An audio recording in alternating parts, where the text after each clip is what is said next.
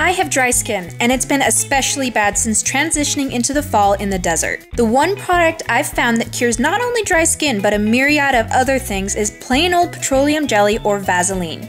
Petroleum jelly is a sticky, somewhat greasy mixture of hydrocarbons that has a melting point within a few degrees of human body temperature. Since its discovery in the late 1800s, it's been a staple in the cosmetic, skincare, and medicinal industries and has been dubbed a cure all by enthusiasts. Contrary to common belief, Vaseline doesn't add moisture to the skin. It's an occlusive moisturizer, meaning it reduces water loss by creating a hydrophobic barrier when applied over the skin.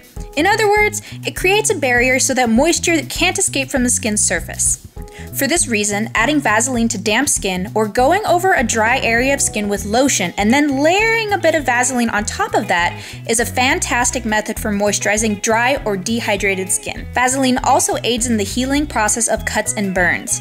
Since it creates a barrier, applying a bit to a cut keeps nasty germs out and the good guys in, potentially speeding up the healing process. I even apply a small amount to my hair. It adds a bit of shine, but it also protects it from external stressors like wind, extreme cold, or sunshine while retaining the moisture. Some also swear that adding Vaseline to your lashes before bedtime makes them grow. I'm not so sure about this, but it does condition them, and again, seals in moisture where extra moisture might be needed.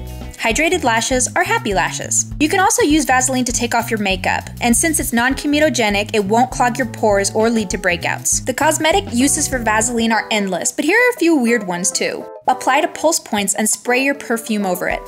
Many people swear it makes your scent stay longer, though I've never actually tried this myself. Vaseline makes wonderful makeup. Use a tiny amount on your cheekbones for a highlight, or mix with a little bit of lipstick to create a brand new gloss for your lips.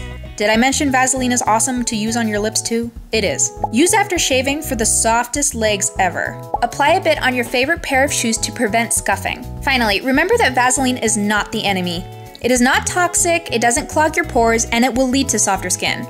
It's inexpensive and reduces transepidermal water loss by more than 98%. Just to compare, coconut oil and shea butter have a transepidermal water loss value of below 20%. It's awesome. Use it, love it, cherish it. And remember to hit the subscribe button if you haven't already, and give this video a big old thumbs up. I hope you guys enjoyed and stay tuned for more.